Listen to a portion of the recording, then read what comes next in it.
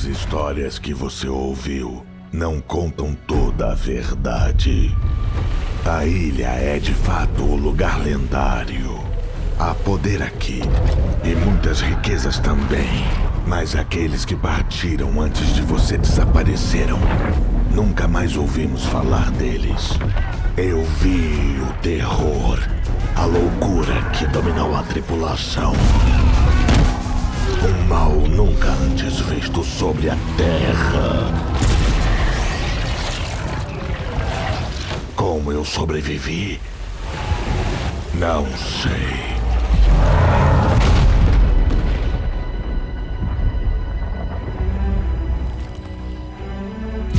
Os conteúdos desta caixa não são deste mundo. Eles guiarão você, seja lá o que for e onde quer que seja. Vá, comandante. Siga seu rumo e seu destino. Rezarei pelas almas de sua tripulação.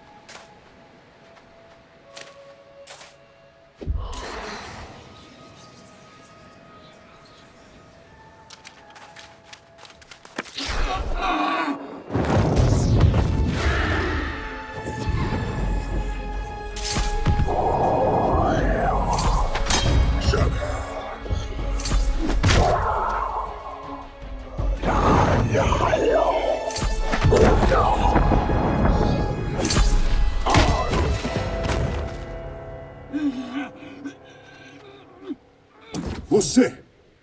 Aproxime-se! Seu capitão precisa de você. Tem alguma coisa errada.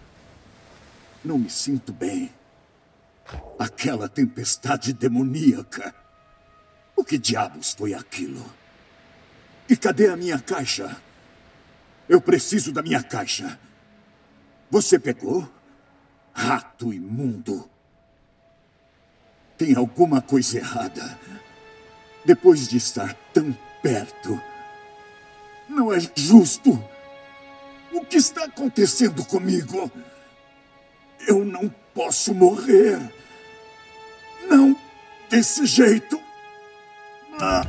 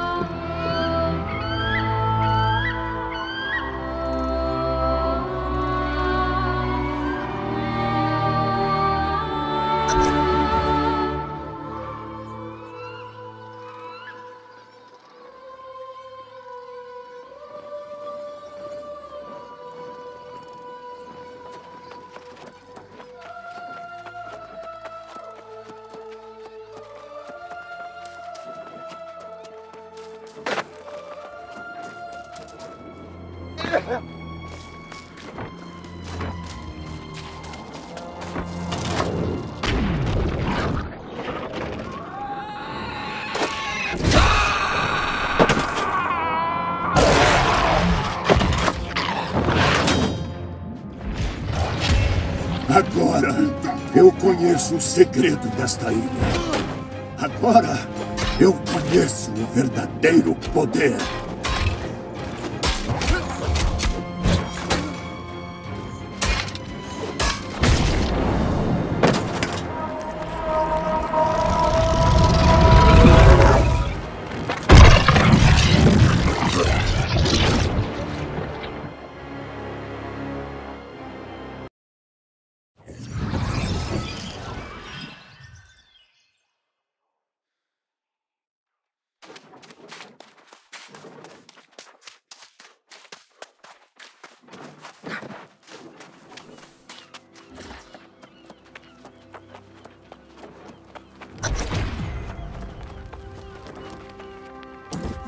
Você não parece ser um dos afogados.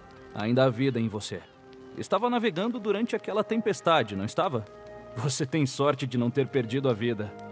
Mas essa é a magia deste lugar. Eterno. De fato. E é onde permaneceremos. É possível escapar da morte durante séculos nesta ilha.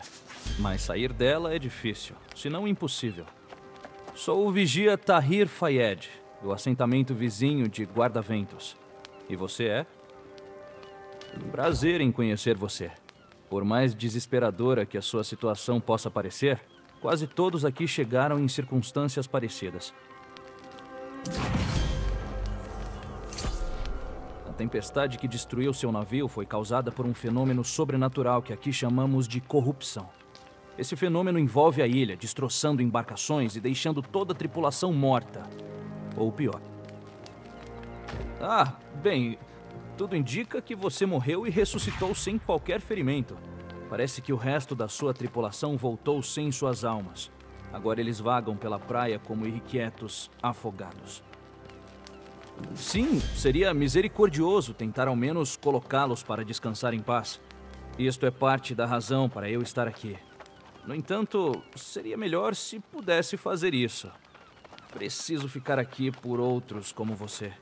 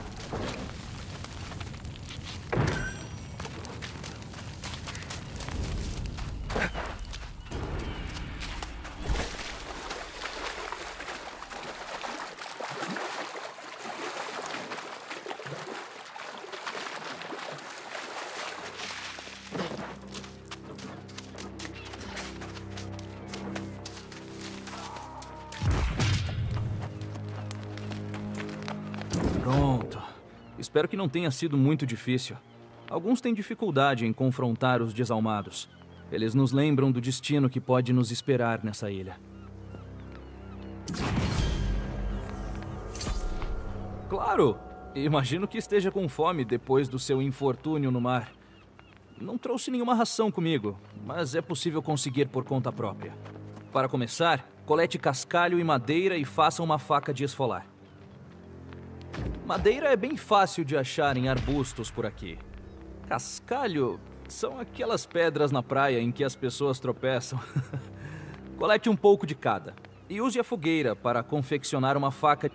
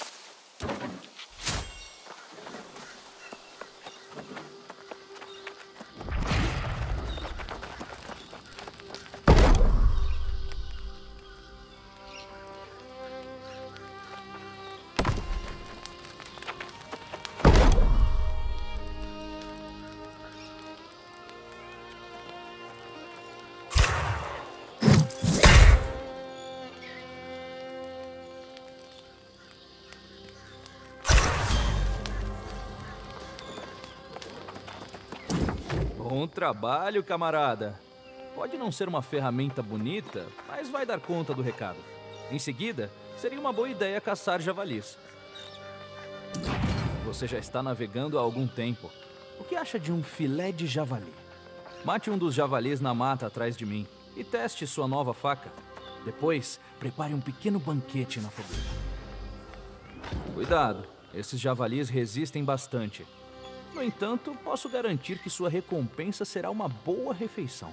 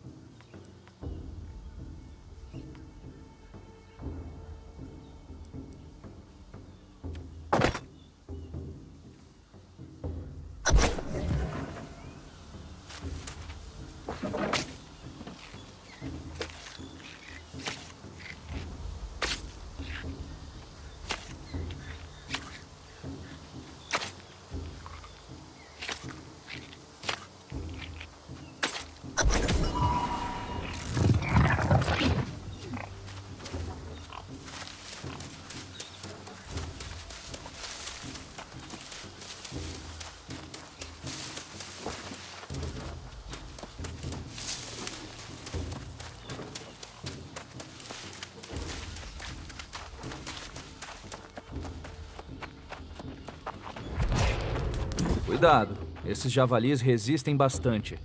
No entanto, posso garantir que sua recompensa será uma boa refeição.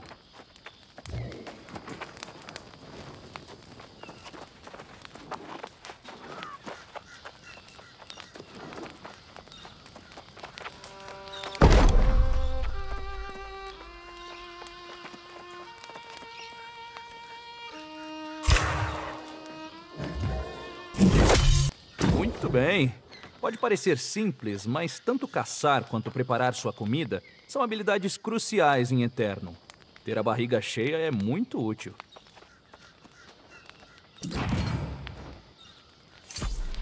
Esta praia não é um lugar muito receptivo. Mas fique à vontade para visitar o assentamento de guarda-ventos. Assim que terminarmos aqui, é claro. Isso mesmo. É como se isso fosse um paraíso, não é? É o Azote Azul, uma força maior até do que a morte. Mesmo assim, você deve tomar cuidado. Algumas pessoas morrem mesmo assim, ou pior. Sua embarcação foi apenas uma das várias que a corrupção conquistou neste dia. O assentamento de guarda-ventos mantém uma lista de todos os naufrágios nesta costa. Eu esperava que pudesse ajudar a coletar os registros de tudo que restou.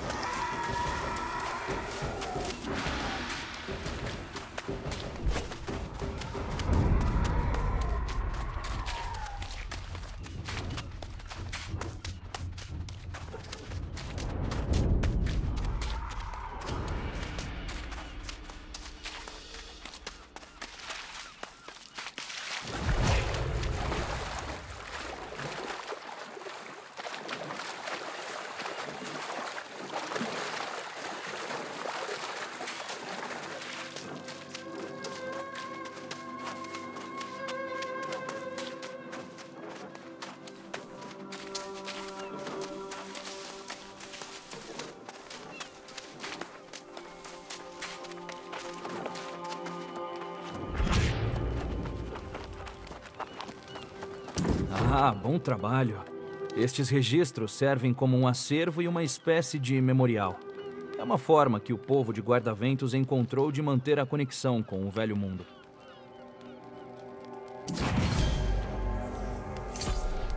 Infelizmente, os perdidos são o menor dos nossos problemas.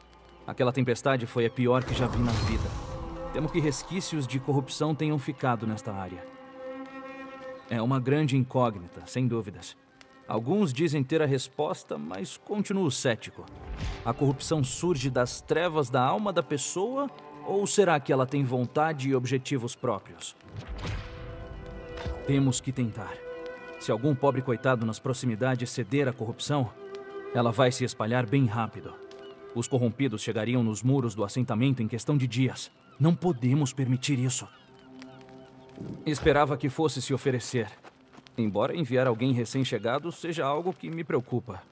Verifique a caverna, mas com cautela.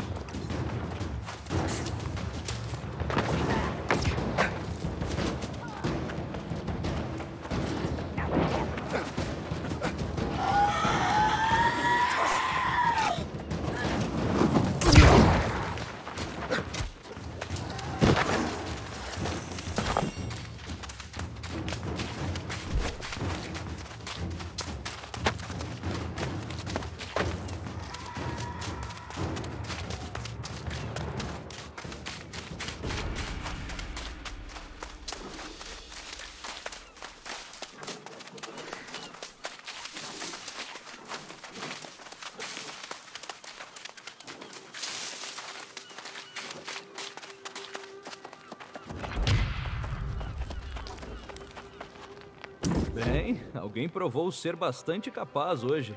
Enfrentar a corrupção e sobreviver sem ceder a ela é um feito e tanto. Expurgar a corrupção da caverna marinha sem dúvida resolveu a ameaça iminente. Mas a proliferação dela para a costa ainda é uma grande preocupação. Apenas nos prepararmos para o dia em que retornará mais uma vez. A grande tempestade que antecedeu sua chegada foi um sinal de que em breve as condições vão piorar. O assentamento de guarda-vento. Sim, e espero que tenham merecido descanso nas estalagens também. Vá para o oeste, até o assentamento, e leve esta mensagem ao supervisor Dolce. Ele vai estar esperando. Ah, e obrigado pela ajuda.